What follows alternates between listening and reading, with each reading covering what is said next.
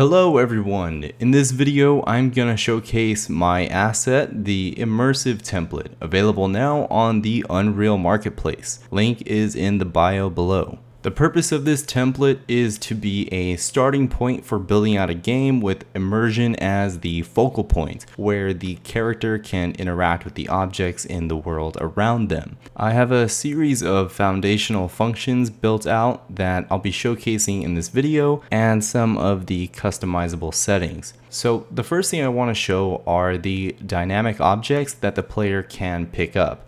In this area, there are boxes placed at low, mid, and high points. When going up to each of them and pressing the E key, the character picks them up and dynamically plays the appropriate animation based on their height in relation to the player so it's between high, mid, or low animations. These are children of the main object blueprint, so when making your own objects, you'd either want to duplicate an existing child or make a child of this parent. Each object has a variable named animation struct and clicking on it shows all the default animations used for dynamically picking up and putting down the object. Hand IK is set up to work out of the box and in the showcase level most of the boxes have two hand IK set up but they don't have the right animations in place for demonstration purposes. This was done intentionally so that you can see how the hands will bend incorrectly if you set hand IK to active but aren't using an animation that matches the active hand IK. So for example, the left box here is using two hand IK, but if you look at the montage for the low pickup, it only has the right hand reaching towards an object, while the left hand is idly pointing down. So by activating two hand IK, you have both hands going towards the box, but the left hand is still facing downward because the animation has the left hand hanging. I hope I was able to explain that well. Um, this is the case for each of these objects, and there are two ways to solve this issue. So one is to place animations using both hands, or two, it's to change the IK setting to the hand that's used in the animation, which in this case is the right hand. So here's how you do option one. You open the blueprint for this object, show inherited variables if they're not shown already, and click on the animation struct. So let's set the low animation to two hand low and make sure you select the montage for the UE5 mannequin because both UE4 and UE5 are in the UE5 version.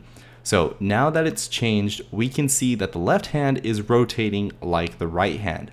And from here, you can fine tune the other settings like the location or rotation of the object in your character's hand. Another thing, let's change the holding animation sequence to an animation using both hands. So now the character picks up the box with both hands and holds the object with both hands all smooth. So by default, I've gone and made the offsets for the child objects already in the template, but your own object will obviously have their own settings to appropriately fit in the mannequin's hands. I want to point out that once an object is placed down, the offset is going to be affected. So this is something I'll be working on in a future update. That way the object will always be held in the same way. Okay, so now let's fix the IK using option two, which is to change the IK to right hand. And let's also change the socket to hold underscore R since our animation is using the right hand. Also, all three socket names are capital H hold underscore capital R, L, or the number two for both hands. Okay, now this middle box is using right hand IK only, so the left is no longer bending and we've changed the socket so the box is being held closer to the right hand instead of where it is on hold underscore 2. From there, I've gone and quickly tweaked the offset so it looks a bit better, but you know, you could fine tune this to your own desires. If all of this with the IK is more of a headache and you just want the dynamic pickups, you can uncheck the use IK and then your character will perform the same pickups and put downs but without the IK. You can also put down objects, but I'll go more in detail about that in just a little bit. Another thing about dynamics, say you don't want to use them, and you only want one pickup and put down animation to play. You can set dynamic to false, and the character will then only play the animations set here. This section right here is set up to show you how that works. So each of the boxes have high pickup and put down animations. So you can see that the character is going to play these higher animations regardless of the height of the boxes. Okay, so here is where I want to go over putting down objects, as well as the interactable mechanics. So let's first start with putting objects down. By default, the E key is used to pick up and place objects back down in these locations. If you haven't noticed, when in proximity of these locations, they'll glow blue, which means that you can place the object there. If an object has physics turned off, like these torches, when you place it into a location, the location will then have an object in place. And approaching that same location with another object in hand will activate a red highlight, and play a sound indicating you cannot place an object there. The locations show a highlight of the object the character is holding. So if you put a box here and then are holding a torch, the location will show a red torch telling you that you can't place it there. So that's for objects with physics off. If physics are on, you can then place objects in the location, but they're gonna fall out and the location won't register it as an object in place. Thus, you can stack multiple simulated objects on one location. So another feature is the ability to designate locations for objects by clicking on the object and then in the eyedropper tool and select the location that you want to designate.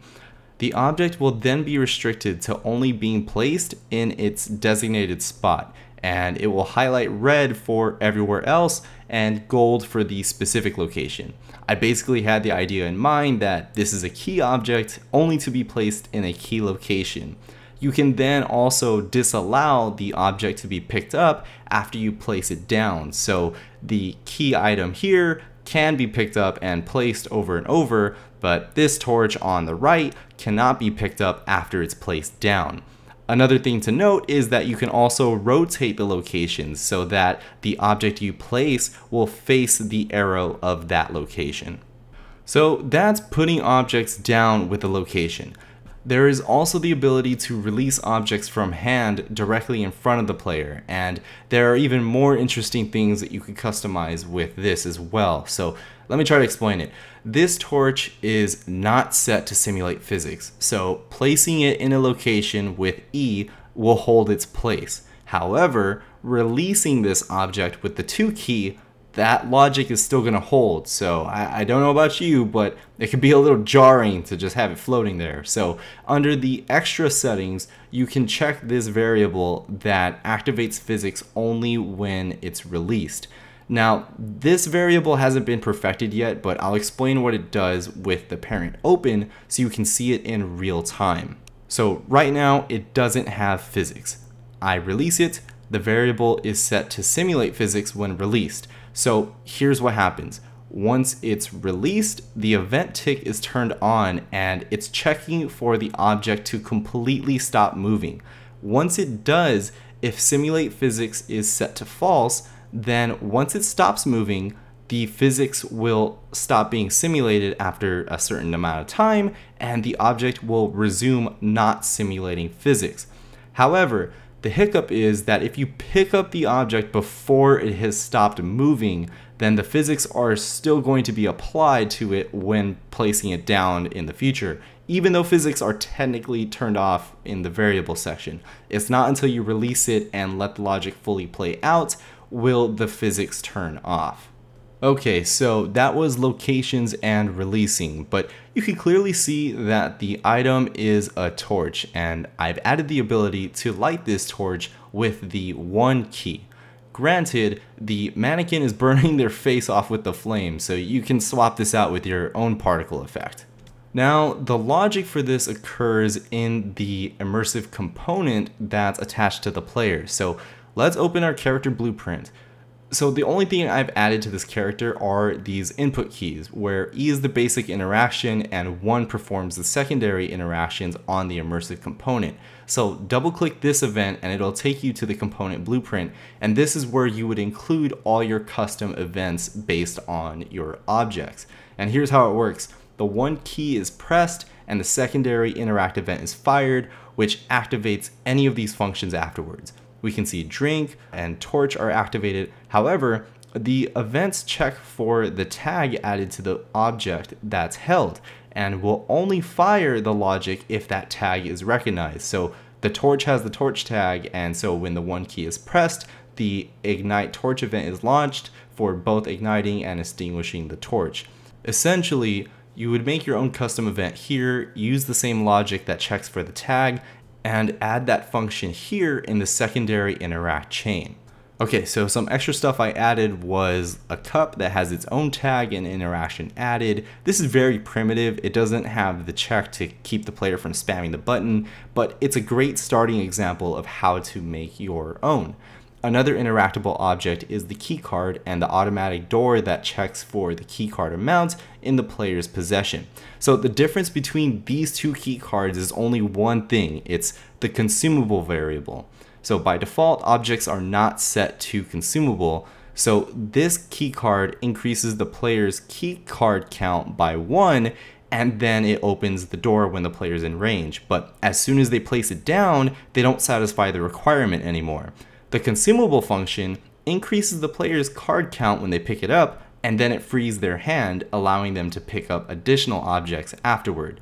One note to make is that if you pick up a key card in front of the door and it doesn't open right away, it's because the player is in the door's range when picking up the card. And so they have to leave and re-enter the door's range so that it can recount the player's card count. Okay, so the final aspect of this template is the ability to sit in and out of chairs. This template includes three types where the first is a smooth animation in and out of it, the second isn't really immersive as it's more of a teleporter, and the third is where the player pulls the chair out and sits into it, and then does the same thing when getting up out of it.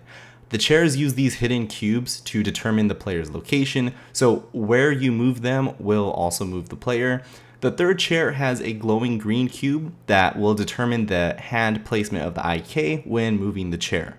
The chair by default uses the right-sided animation, but I have made the left-sided version here where I just move these cubes to the other side and change the animations and the hand IK enum. So that's all of the template for now. It's very bare bones, but it's foundational enough to build off of. I've already began working on additional mechanics that I plan to include, and I also plan to include much better game ready animations and meshes this build was focused on getting the core logic created, and since I finished most of it, the newer mechanics are being completed fairly quickly. I also added this little demo section. It's very basic, I know, but it's a simple example of one way to use the locations and interactions in a little puzzle where the player sets this torch in this location. And if the torch is lit, the hanging staircase will drop down. One weird thing I've randomly seen is sometimes there's a lag after you place the torch down and like if it's lit, the staircase just like has this weird delay and then drops. I'm not sure what causes it. Uh, it happens like once and then just stops. But yeah, that's pretty much all I got. Thank you so much for watching. I hope you found this video uh, helpful and informative. I'll make more tutorials on how to build things out with this template in the future. Anyway, that's all I have for you. I will see you all later.